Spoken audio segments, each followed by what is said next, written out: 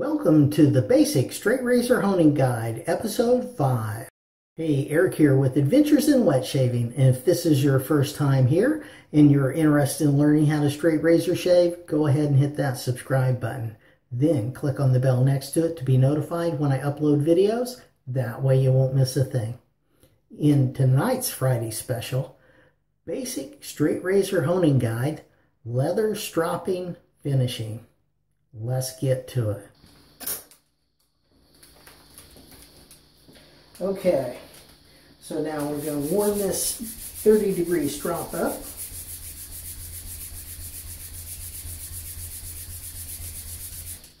All right, and we're going to do 60 laps, and as we do the 60 laps, that's up, all the way down, all the way up, we're going to be listening to the sound of how the razor is gliding over the leather we want that sound to be even in both directions.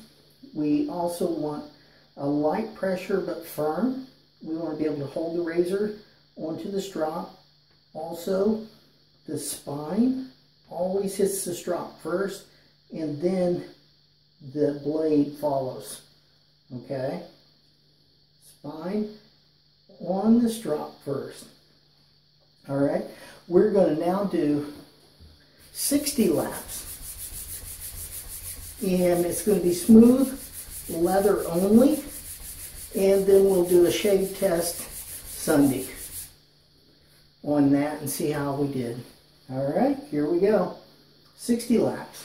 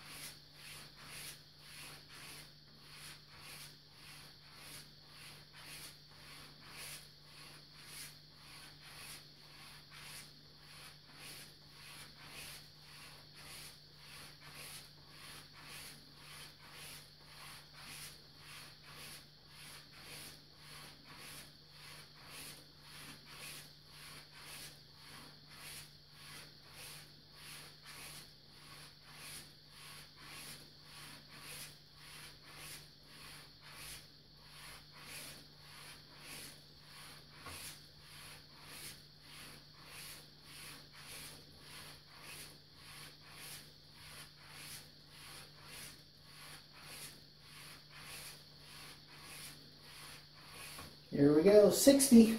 Let's go ahead and see if this blade is shave ready. We're going to try on the end. Yeah, popping hairs. Middle. Yeah, popping hairs. Yeah, down by the heel as well. Very nice. And now this is all the hanging hair test because I'm doing this halfway up. Halfway up on my arm here. All right. So it is definitely shave ready. And it doesn't matter where you are on the blade. Okay, there you go. I'll go ahead and show you this down here.